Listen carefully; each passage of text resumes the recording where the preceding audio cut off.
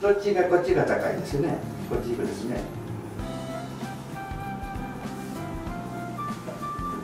黒目の端がここですよね。これですね。ここも今書いてますよね。本来僕らだったらここから書くんです。わかります？ここから書く。もうここ書かないでこう入れるってことですね。ここを下をできるだけちょっと太めにします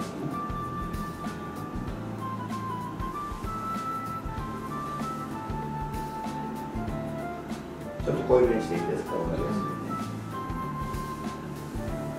そしてここのバランスここはいいですねここをつなげていかなかったですこういう感じでちょっと前が前がちょっと細いんですよ見てるとねこういう太なったでしょわかりますそしたらちょっと下がったイメージなんですよ僕上取ってないんですけどで今度はこの上ここですね。上上ここを強調する。上を強調して上からこう。同じようにここからこう返し。少しこの上上を意識してくださいます。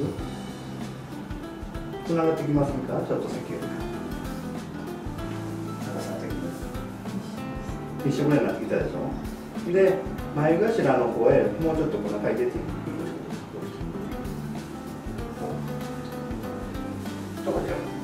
でほらなってきたでしょそしてこれ今形はこちらの方がストレートでこちらにちょっとラウンドに少しなってるんでそういう。時にここを丸くこの時ペンでやることだからなかなかできないこう。してブラシで描いてみるで太めに描いていくとこことここがつながってきてどうですか？全然違うでしょ？それからこのペンでこういうとこ取りやすいんでラインにちょっと強調して。こちらも。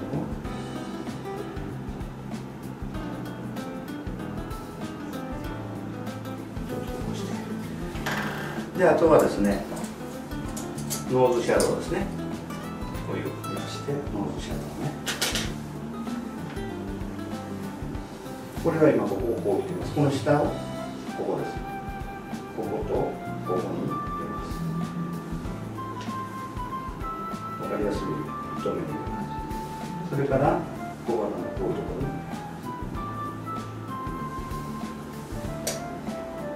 ろに目尻少し軽く。入れます小鼻少しこれなぜかというと赤みがあるところ目尻は一番ここが赤黒いんですわかりますちょっと軽く入れますでまあここなんですけどこうかぶちゃって軽くもしシミとか気になるもしあればないですけどあればトントンますでねこれね一緒でしょ？トントンって。でこれ練り練りになってるちょっとこう軽く押さえるだけでね。でこういうブラシのですねカモフラージュブラシって言って普通のブラシじゃないですね。ナイフにとフィットするんですフィット。で今度明るい色をとって少しここ赤みがファンデーション取れてるでしょ？こういうところにちょっと落書きしていいですか？でこれ見てもらっていいですか目の下にでほうれい線こうかもう一回あの先でこういうふうにしてまあ落書きしたみたいですね見えますかでこれを手でポンポンポンポンとこう吸ったらダメですするとファンデーション取れるので手でぼかしてくださいこうしてでこれができるとお化粧直しにもなるんでトイレでこれだけやるだけで嫁やりますとか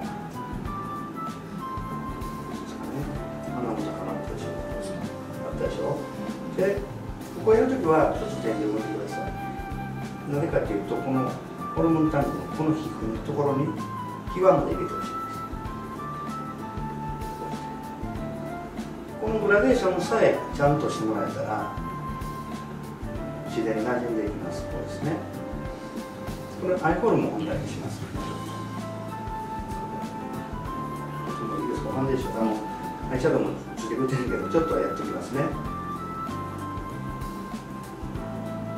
こうですね。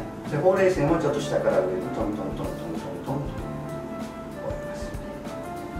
口角もトントントントン上げます。大先。いってますこれで先ほどのイメージと違うと？違う分かりますか？赤くなった赤くなったでしょ？で明るくなったらここの赤くなったところにチークをます。内側から血色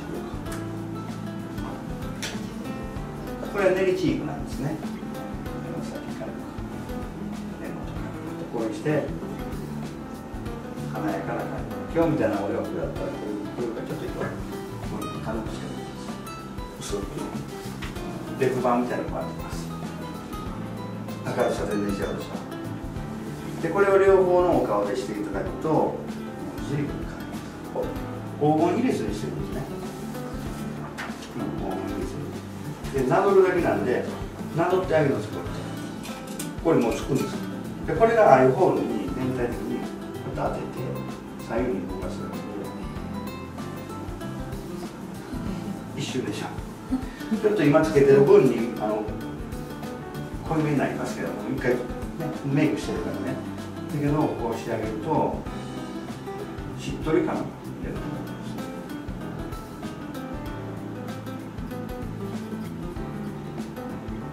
す大人の女性はこれブラウンで分かります何かというと目元を黒くする方がいいと思うんですよブラウンの間にこれは通りに見えるんですねそうすると普通のあのファンデーション塗る前にこうやっていただくともう本当に落とす感出てこんな感じになります。これをまずちょっと今日は覚えてます。